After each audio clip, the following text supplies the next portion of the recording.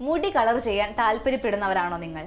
ഇതുവഴി നമ്മുടെ മുടിയിഴകൾക്ക് എന്തെങ്കിലും സംഭവിക്കുമോ എന്ന് പേടിക്കുന്നുണ്ടോ? എങ്കിൽ ഇതറിഞ്ഞിരിക്കുക. ഇന്നത്തെ മേക്ക് ഓവർ ട്രെൻഡുകളിൽ ഒന്നാണ് ഹെയർ കളറിംഗ് ആൺ പെൺ വ്യത്യാസമില്ലാതെ ഈ ട്രെൻഡിനൊപ്പം സഞ്ചരിക്കുന്നുണ്ട്.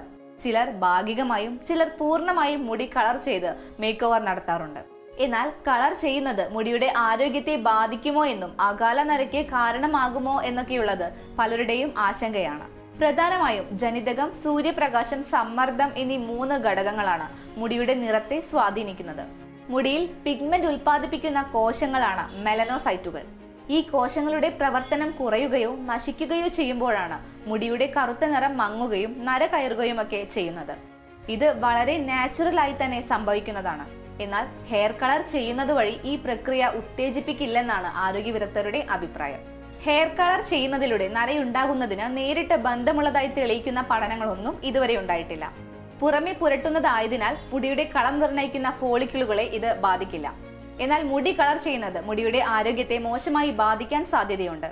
മുടി ദുർബലമാകാനും പെട്ടെന്ന് പൊട്ടിപ്പോകാനും ഇതുവഴി കാരണമായേക്കാം. അതേസമയം ഹെയർ കളറിങ്ങിന് മുൻപ് ഉപയോഗിക്കുന്ന ബ്ലീച്ച് മുടിയുടെ നിറം മങ്ങാൻ കാരണമായേക്കുമെന്നാണ് ആരോഗ്യ വിദഗ്ധരുടെ അഭിപ്രായം. കൂടാതെ ഇത് മുടിയുടെ വേരുകളെയും ദുർബലപ്പെടുത്തിയേക്കാം.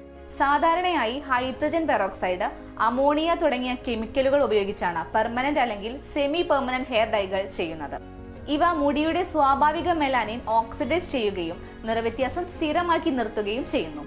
മുടിയുടെ ഫോളിക്കുകളിൽ ബ്ലീച്ചിന് ഉപയോഗിക്കുന്ന ഹൈഡ്രജൻ പെറോക്സൈഡ് അടിഞ്ഞുകൂടുന്നത് മുടി നരയ്ക്കാൻ കാരണമാകുമെന്ന് ഒരു പഠനത്തിൽ പറയുന്നുണ്ട്.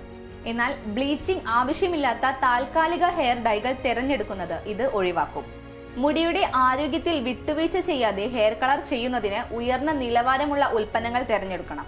കൂടാതെ ഹെയർ കെയർ റൂട്ടീൻ പിന്തുടരുകയും വേണം. അപ്പോൾ ഇനി ഹെയർ കളറിംഗ് നല്ലതാണോ? അത് നമ്മുടെ മുടിയിഴകൾക്ക് ദോഷം ചെയ്യുമോ? എന്ന കാര്യത്തിൽ പേടി വേണ്ട.